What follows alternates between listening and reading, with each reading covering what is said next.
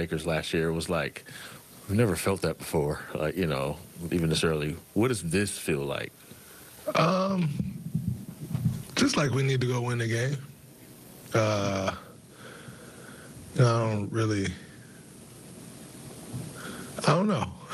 just feel like we need to go win, but it's exciting. Uh, you know, you know, it's do or die.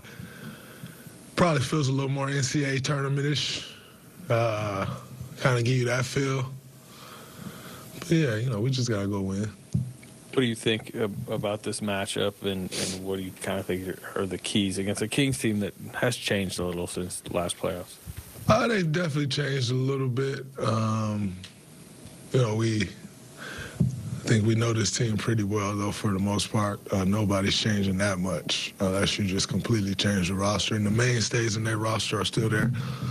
Uh, so they're going to run a lot of things through Sabonis. Uh, obviously, the, everything starts with the head of the snake, De'Aaron, um, and everybody else kind of gets theirs off those two guys.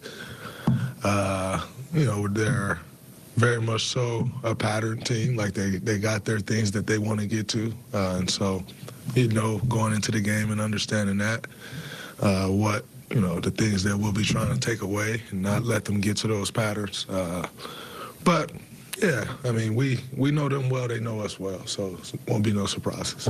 Following up on that, the past times you guys have played them, either this season or even last season, much with the same group, but Trayce has really emerged as a, as a key contributor for you guys at, at center the past couple months. He wasn't a key part of, of those game plans. How do you see him kind of helping defend a guy like Sabonis um, in this? Uh, well, you know, um, Trayce has great length. He's very athletic. He affects a lot of shots at the rim. Uh, you know, Sabonis does all of his damage pretty much within 10, 10 to 15 feet. Uh, obviously, he can step out and shoot the ball, but a lot of his damage from a scoring perspective, obviously he, you know, gets everyone involved. Um, you know, he's, if I'm not mistaken, I'm pretty sure he probably leads the team in assists. Um, and so he, you know, he gets everyone. But when it comes to scoring, it's a lot of it is around the rim, you know, and Trayce uh, can affect some of those shots if, you know, but it starts with positioning though. Uh, you know, Sabonis is great at creating angles, you know, so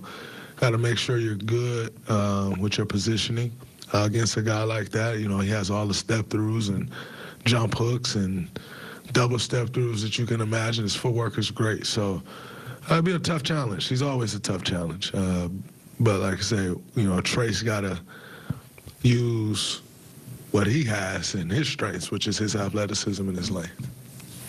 Draymond, it was kind of a joke at the beginning of the season how many times you saw you guys saw Sacramento, and then to know that they're your first game in this one, you you kind of just said they know you, you know them, but as the more veteran team, does this short travel and knowing this team play in your hand at all? Does it have any effect? Uh, I mean, I think the travel definitely helps. Be that it's an hour away, it's a quick bus ride down. Um, that helps. Uh, us knowing them helps, but on the flip side, they know us at well, and that hurts, you know. So, um, you know, overall, at the end of the day, coaches are going to put a game plan together. Uh, their coaches will put a great, great game plan together. Our coaches will put a great game plan together.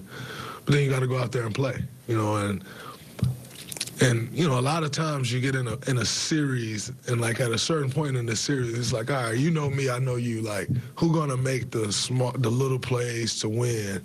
Uh, who's gonna come up with the 50-50 balls to win the game? Because you know everything I'm running, I know everything you're running, and I feel like that's what this. Obviously, not a seven-game series, but I feel like that's what this game gonna come down to. Who gonna make the necessary plays to win the game?